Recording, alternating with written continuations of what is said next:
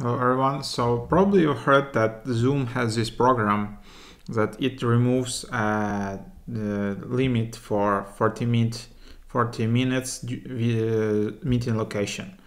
So it only works for selected K-12 12 schools uh, affected by the coronavirus. And uh, so first what you need to do is just create a free basic account and then uh, you need to fill out the form below.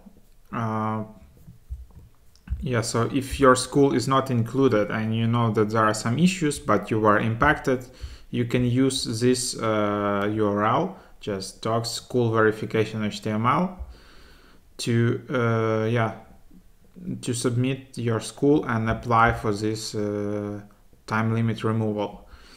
Uh, Personal emails such as Gmail, Yahoo, or Outlook are not eligible.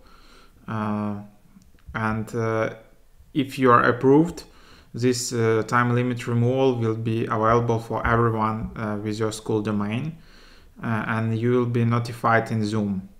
Uh, so there you have it. Just enter school email address, school name, first last name, school size, school website, phone number, school and region. Tap submit, and then you can have that removal.